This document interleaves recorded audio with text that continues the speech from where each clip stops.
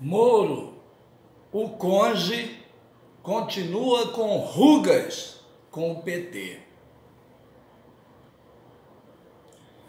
Segundo as próprias palavras do, de Sérgio Moro, ele tem algumas rugas com Gilmar Mendes.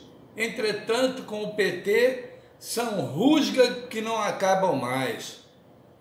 Recentemente, para atingir o PT, Moro diz que se PT tivesse ganhado as eleições, haveria censura à mídia e ao judiciário.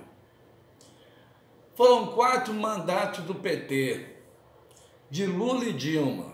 Ambos indicaram a maioria dos juízes do STF, e mesmo assim Dilma foi vítima de golpe com o Supremo contudo, conforme as palavras do senador golpista Romero Jucá.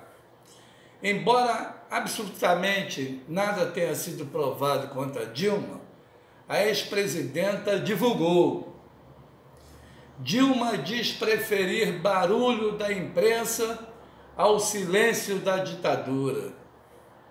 Já Lula foi preso às vésperas da eleição pela Lava Jato, chefiada por Moro, num claro intuito de favorecer Bolsonaro. E Moro, sem nenhum constrangimento, assume o Ministério da Justiça de Bolsonaro. Sem esquecer que o Ibope dizia que Lula ganharia a eleição em primeiro turno. A Lava Jato nunca anexou ao processo e nem mostrou à sociedade o registro de imóvel, de imóvel ou qualquer outro documento hábil que comprove a propriedade de Lula do triplex de Guarujá e do sítio em Atibaia. Segundo a Lava Jato, eles seriam fruto da corrupção de Lula na Petrobras. Enquanto Moro não se cansa de inventar rusga contra o PT, ele se cala em relação à sua conge, a advogada Rosângela Moro, que, segundo a revista Veja, com base em informação da Receita Federal, recebeu depósito em sua conta do advogado Rodrigo Tacla Duran da Odebrecht. Moro, antes da informação da Veja, chamou Duran de fugitivo da justiça e fora da lei.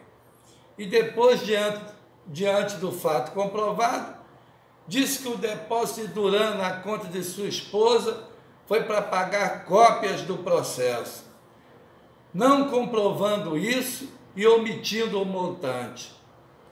Sabe-se que os valores envolvidos são milionários, pois, segundo Duran, o pedido por fora foi de 5 milhões de dólares, feito pelo advogado oficial da Lava Jato, compadre de Moro e ex-sócio de sua esposa, Carlos Zucoloto Júnior.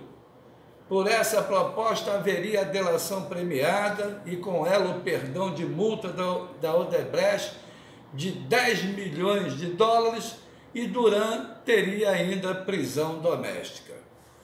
Diante desses fatos, dá para acreditar nas palavras de Moro de que o depósito em conta da esposa foi para pagar cópia de processo? Rio de Janeiro, 6 de maio de 2019. Se você gostou do vídeo, inscreva-se em meu canal e deixe seu comentário. Ó, oh, quão bom e quão suave é que os irmãos vivam em união.